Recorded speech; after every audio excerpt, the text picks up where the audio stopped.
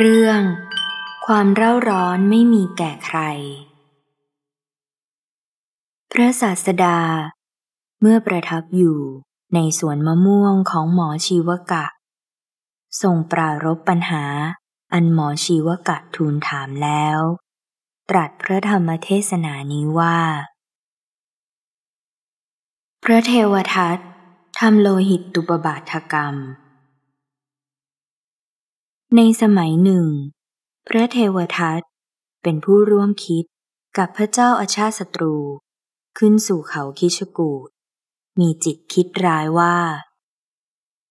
เราจะปงพระชนพระศาสดา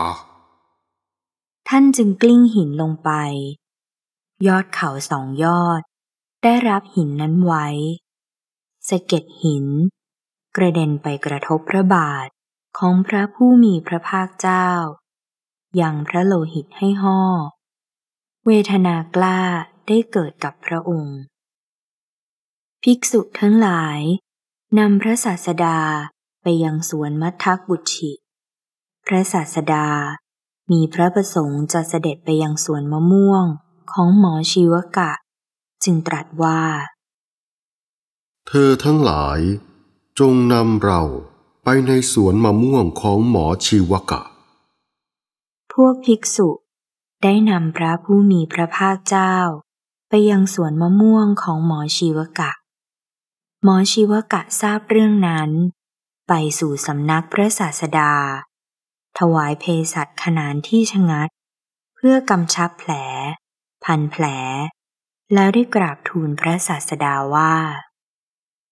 พระพุทธเจ้าข้าข้าพระองค์ประกอบเภสัชแก่คนผู้หนึ่งภายในพระนคร ข้าพระองค์จักไปยังเรือนของเขา แล้วจักกลับมาเฝ้าพระองค์ ขอพระองค์อย่าทรงแกะผ้าพันแผลที่ข้าพระองค์พันไว้ จนกว่าข้าพระองค์จะกลับมา เขาไปทำกิจที่ควรทำแก่คนนั้นแล้ว กลับมาในเวลาที่ประตูเมืองปิดแล้ว จึงไม่อาจเข้าเมือง เขาได้มีความวิตกอย่างนี้ว่า แย่จริง เราทำกรรมหนักเสียแล้ว ที่เราถวายเภสัชอย่างชะงัด พันแผลที่พระบาทของพระตถาคตเจ้า ดุดคนทั่วไป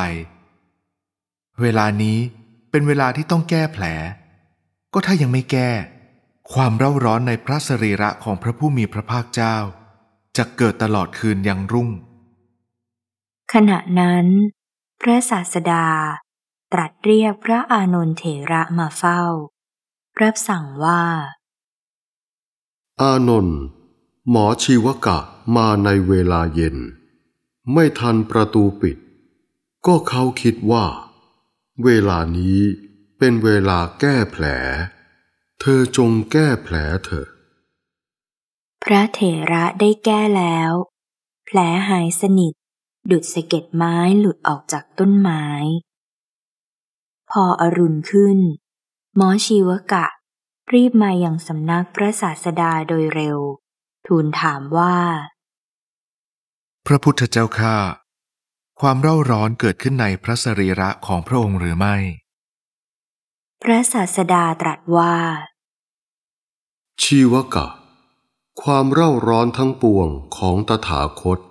สงบราบคาบแล้ว ที่ควงโพธิพฤกษ์นั่นแหละดังนี้แล้ว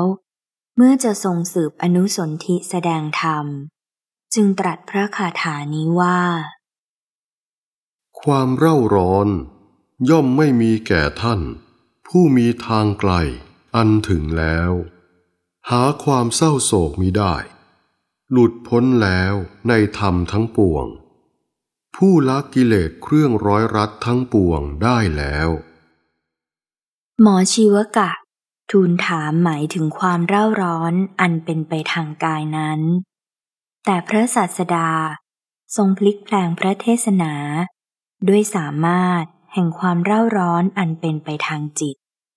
เพราะความที่พระองค์เป็นผู้ฉลาดในเทศนาวิธี เพราะความที่พระองค์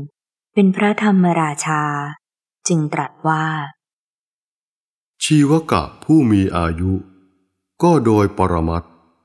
ความเร่าร้อนย่อมไม่มีแก่พระขีณาสพ ผู้เห็นป่านนั้น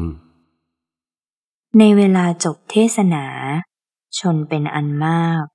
บรรลุอริยผลทั้งหลาย มีโสดาปฏิผลเป็นต้น ดังนี้แหลเรื่อง ความเร่าร้อนไม่มีแก่ใคร จบ